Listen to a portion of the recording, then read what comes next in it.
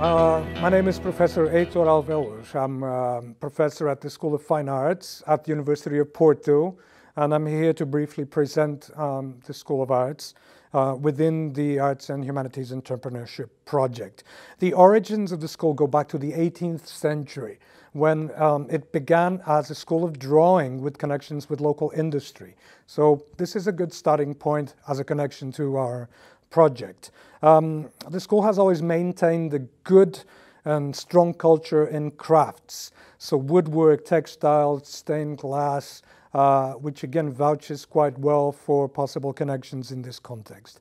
We offer BA, MA, and PhD courses uh, in the fine arts, in design, in digital media, in communication sciences. And um, some of these courses are actually offered in partnership with other schools of the University of Porto, but also with um, partner universities. The School of Fine Arts also connects regularly uh, with local and regional culture, with industry, and with civic entities. I should also say that we're uh, one of the most successful faculties at the University of Porto when it comes to student mobility and international exchange as a whole, uh, especially uh, when it comes to master's and PhD courses where the um, number of uh, international students has been increasing significantly.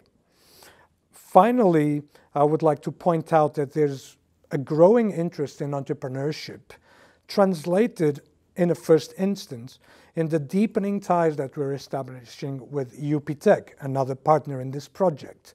Um, I think the best example of this would be the PhD in design, which is currently housed at the Creative Industries Incubator of UPTEC. Hi, I'm Manuela Pinto, and my faculty is the Faculty of Arts and Humanities of the University of Porto. There, we try to mix tradition and innovation. Uh, while we teach, we make research, and we try to transfer the knowledge in the areas as uh, human and social science, direct to the cultural creation and scientific, uh, social and economic development of our country, Portugal.